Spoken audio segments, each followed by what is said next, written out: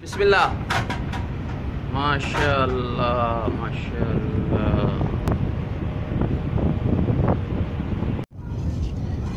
जी तो मंदी, ये आप, यही बोल रहे हैं कि अरबी स्टाइल मंदी बनाने की कोशिश की जा रही है।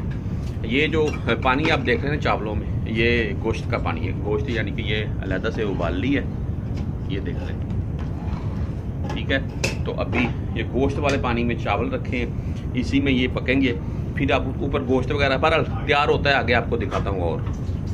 जी तो इसमें वैसे मैंने छोटी इलायची बड़ी इलायची और करी पत्ता वगैरह डाल दिया ये कुछ मेवे हैं जी ब्लैक एंड येलो साथ में सब्ज़ मिर्च जो कि साबत हम डालेंगे सिर्फ़ एक चीरा देंगे और साथ में धनिया वगैरह इसमें डाल देंगे। अभी गोश्त डालना है।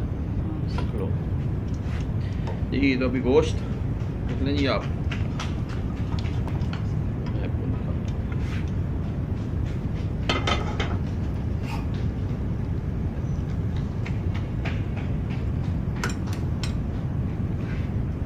माशाल्लाह। खाली और अच्छा ये गोश्त अलहदा से ये उबाला है। इसका गोश्त के पानी में चावल उबाले हैं फिर।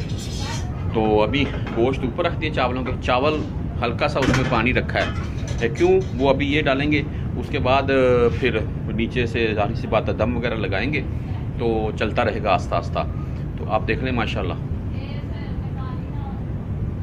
अभी मेवे एंड ये। मैं आपको आगे दिखाता हूँ। अभी दिखाऊँगा आपको जब दम इसका खोलेंगे फिर आपको दिखाता हूँ क्या बनेगा।